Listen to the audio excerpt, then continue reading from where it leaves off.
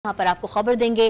Chairman PTI barrister Gohar Ali Mohammad Khan और वज़ीर अला खैबर पख्तनख्वा के पी मुशीर बैरिस्टर सैफ बानी पीटीआई से मुलाकात के लिए अडियाला जेल पहुँच गए।